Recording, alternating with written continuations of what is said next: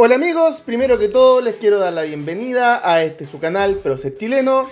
El día de hoy les traigo una excelente noticia sobre posibles modificaciones que podrían recibir nuestros tanques Leopard 2 en lo que respecta a los sistemas de defensa activa. Espero que les guste. El día de hoy me acaban de llegar imágenes de un Mowak Piraña 6x6 con torreta KBA 25 mm Kuka exhibida en la escuela militar. Lo interesante de estas imágenes es que se puede apreciar que tiene adosados dos sensores de alerta láser o LWS por sus siglas en inglés, los que sirven para identificar amenazas en la lucha corazada. Lo interesante de esto amigos es que los sistemas LWS son el primer paso para luego instalar sistemas de defensa activa como el Trophy o el ADS de Rheinmetall los que a la luz de los últimos conflictos bélicos, como el de Siria o Ucrania, han demostrado ampliamente su valor en un ambiente cada vez más atestado de misiles antitanques, como el Javelin, los Spike o los TOW norteamericanos, solo por mencionar algunos ejemplos.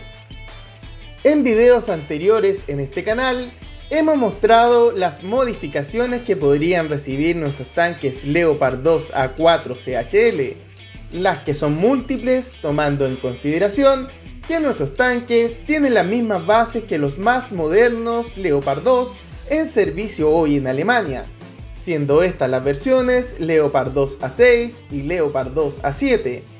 Es vital para nuestro país poder prontamente modernizar nuestros tanques Leopard con el cambio de las cámaras térmicas WDGX con más de 40 años de servicio por las modernísimas cámaras Attica.